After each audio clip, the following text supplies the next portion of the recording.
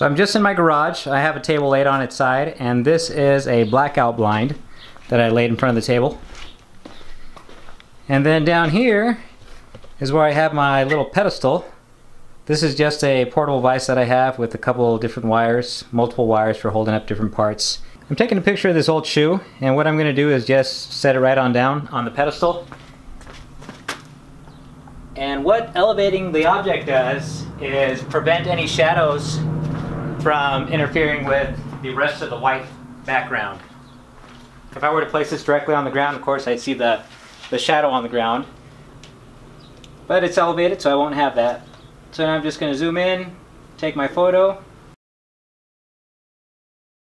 So here's the photo. You can see it has a good white background, but that's not going to be sufficient for a place like Amazon. So I'm going to show you how to delete it out to include that pedestal underneath it.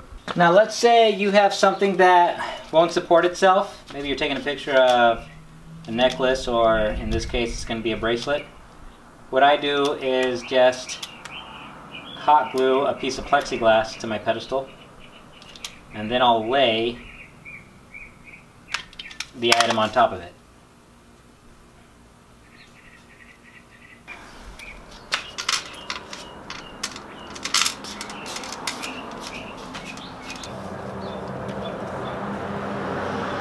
Now when you take the photo, you have to angle the camera so that any reflection in the plexiglass is off to the side.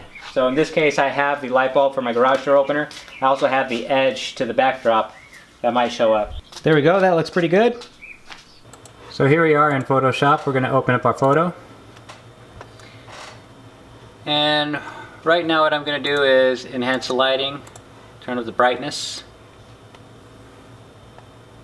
There you go, that looks good. Now I'm going to use my magic wand, select the white on the inside. I'm going to turn up the tolerance a little bit. Select it on the outside. And then just hit delete. Now there's some other places that didn't get selected. So I'm just going to go back and manually wipe those out with the eraser.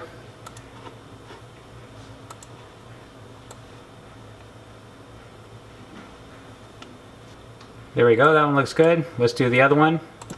Same thing. I'm going to enhance the brightness.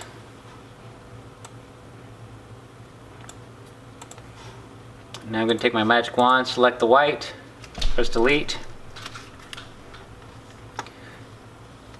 Now everything looks good except for the pedestal that's still in the photo. All I'm going to do is zoom in here and then I'm going to erase it.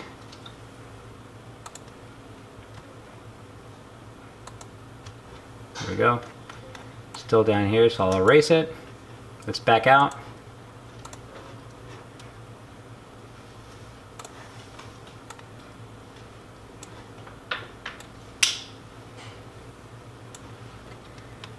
And there it is. There's our white photo.